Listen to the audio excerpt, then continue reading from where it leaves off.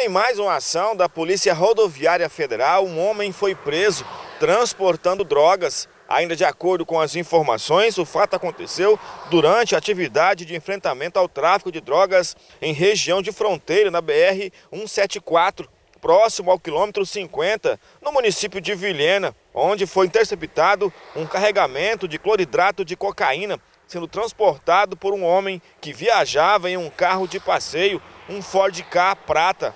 No total, 23 quilos da droga ilícita que eram transportados em um compartimento escondido no veículo foram encontrados e encaminhados à Polícia Civil para destruição.